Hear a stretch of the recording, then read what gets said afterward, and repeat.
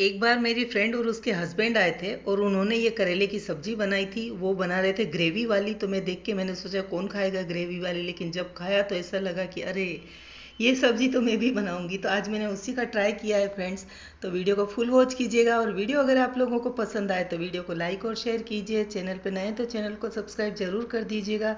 Bell icon को दबाना बिल्कुल भी मत भूलिएगा।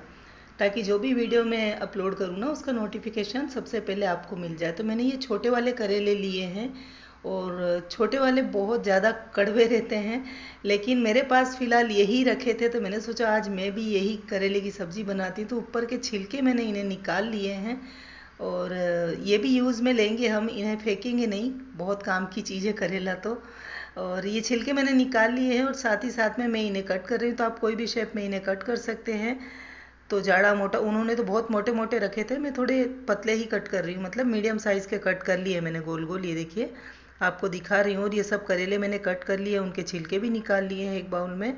और अब मैं डाल रही हूँ करेले में दो चम्मच नमक और इसमें जो बाउल में छिलके निकाल रखे, उसमें भी मैं डेढ़ चम्मच नमक डाल दूँगी क्योंकि ये कम है छिलका। तो इसमें मैंने डेढ़ चम्मच नमक डाला है और इन्हें हाथ से अच्छे से मसल मसल के नमक इसमें मिक्स कर देना है।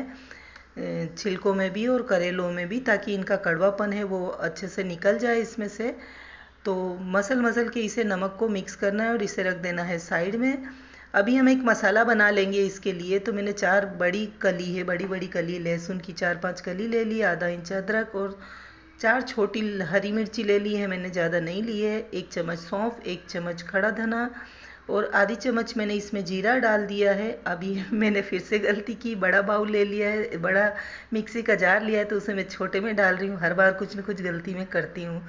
और इसमें मैं डाल रही हूँ दो सूखी लाल मिर्च तो ये सूखी लाल मिर्च भी इसमें डाल दी है और ये मसाला हम पीस लेंगे तो इसे हमें दरदरा ही पीसना है, ज़्यादा बारीक नहीं करना है। तो ये मसाला पीस चुका है हमारा। अभी मैं इसमें, इसे रखेंगे साइड में, और जो करेले रखे हैं ना उन्हें बहुत अच्छे से मसलना है ताकि जितना भी कड़वापन इनमें रहे, वो नमक के पानी के साथ इसके निकल जाए। तो ये मैंने मसल लिया है और ये जो हमने छिलके निकाल के रखे थे, देखिए इसमें तो ऑलरेडी इतना पानी इसने रिलीज़ कर दिया है ना नमक के साथ।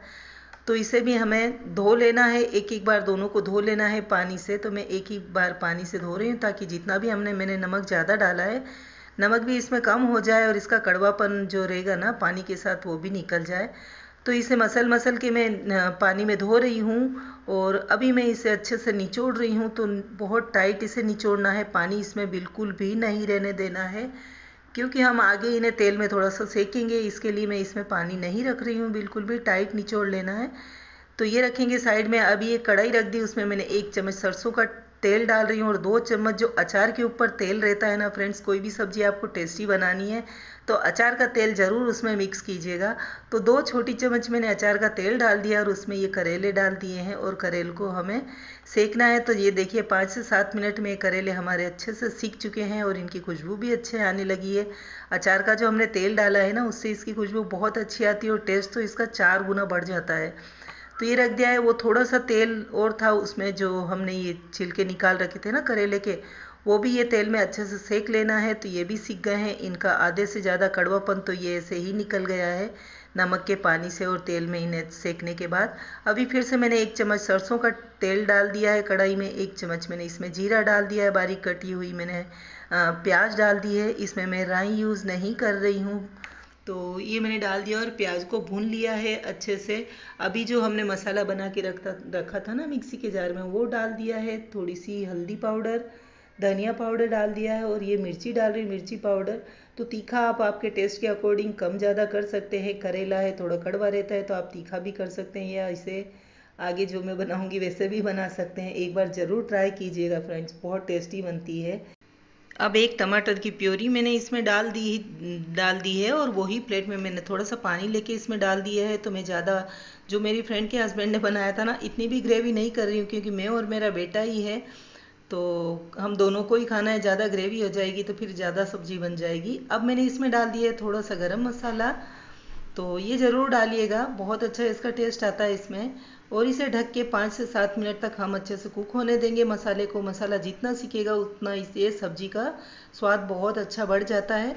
तो ये हो चुका है। अभी जो छिलके जो हमने सेक के रखे थे ना, तेल में इसके करेले के, वो इसमें मैंने डाल दिए हैं। और अब मैं डाल रही हूँ इसमें लास्ट में करेले, जो कट करके हमने सेक के रखे थे, वो इसमें डाल देना है।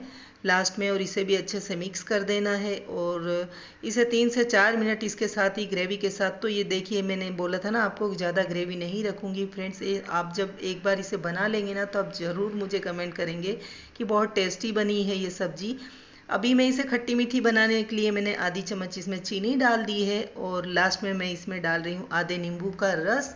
तो ये जो हमारी सब्ज़ी बनी है ना, बहुत बहुत टेस्टी बनी है। खट्टी, मीठी, तीखी, करेले की सब्ज़ी थोड़ी सी कड़वी, ज़्यादा कड़वी नहीं।